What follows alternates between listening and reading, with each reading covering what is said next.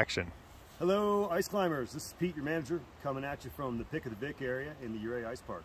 I wanted to introduce everybody to the new anchoring system that we have in Pick of the Vic. In the last few years, we've lost almost every tree here to uh, either pine beetle or budworm. But now all the trees that we've used to anchor for all these years, they're all dead. So we had to come up with this very innovative and very strong tripod design. So first thing to know is this tripod is bomber.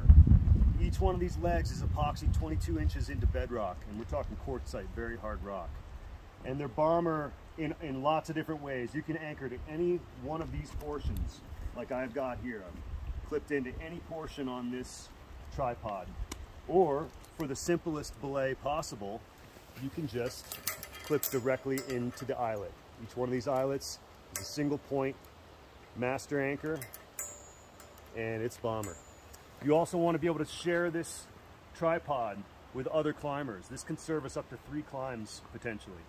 And if you'd still like to use one of the dead trees as a low force directional for your anchor, that's just fine with us. But please do be backed up to the tripod.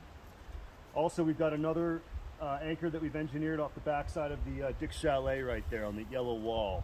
You may be able to see that plate right there. We've reinforced that wall and have added that great anchor. So that'll really help the climb Wits World make that a better belay.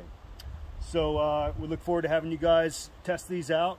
Let us know what you think, and we'll see you guys in a little while. We'll be opening soon. Thanks. Bye-bye.